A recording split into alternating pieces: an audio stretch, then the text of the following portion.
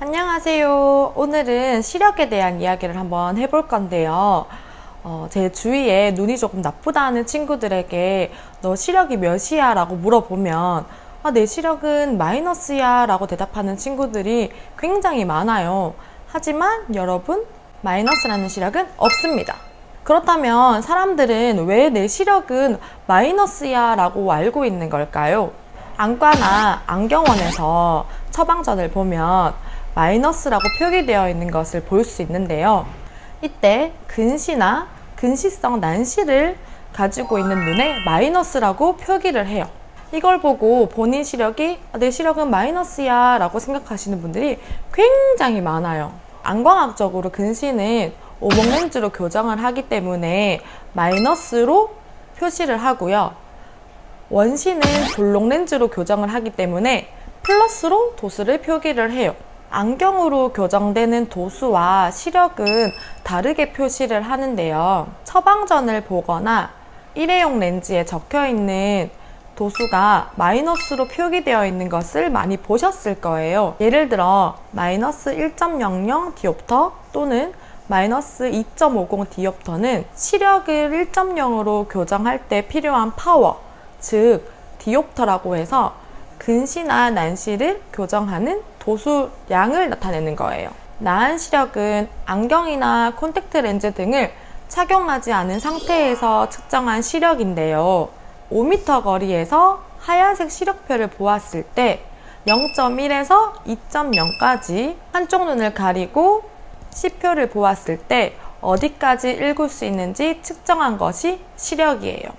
여기서 하얀색 시력표를 보면 제일 큰 숫자가 0.1이라는 시표인데 5m 거리에서 한쪽 눈을 가리고 0.1이라는 시표를 읽어내지 못하면 한 발짝씩 거리를 가까이 다가가서 시표를 읽혀요.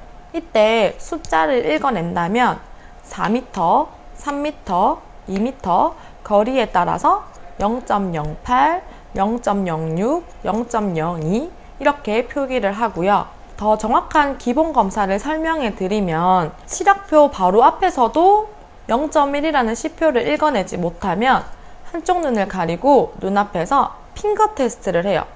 손가락이 몇 개인지 인지하는지 알아보는 검사를 핑거 테스트라고 하는데요.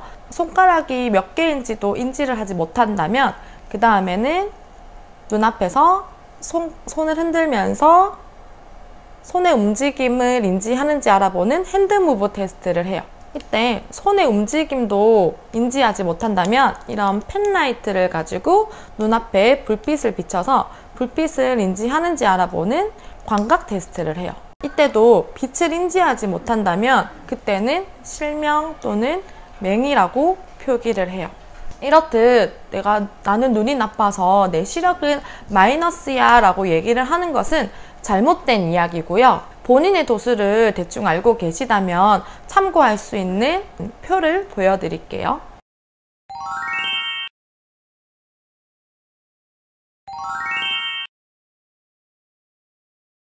예를 들어 나는 근시 마이너스 4.00 디옵터에서 마이너스 5.00 디옵터의 눈을 가지고 있는 사람들은 내 시력은 0.06이야 라고 얘기하시면 돼요.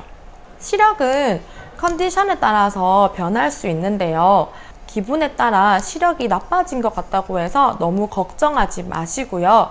가장 중요한 것은 안경으로 교정을 했었을 때 내 교정 시력이 1.0이 나오는지 안경으로 교정했었을 때 도수 변화가 있는지 안경으로 교정을 했었을 때 시력이 1.0이 나오는지에 중점을 두고 시력 검사를 받으시면 되고요.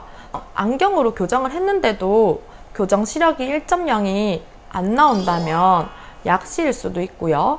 각막염일 수도 있고 다른 안질환을 가지고 있을 수 있기 때문에 안과 검진을 받으셔야 돼요. 6개월에서 1년에 한 번씩 주기적으로 시력 검사를 받으시면 좋을 것 같아요. 이제는 마이너스라는 시력이 없다라는 것을 꼭 알고 계시고요. 어, 주위에서 너 시력이 몇이야? 라고 물어보면 어, 절대 내 시력은 마이너스야 라고 대답하시면 안 돼요. 이렇게 오늘은 시력에 대한 이야기를 해봤는데요. 다음 영상도 기대해 주세요. 안녕.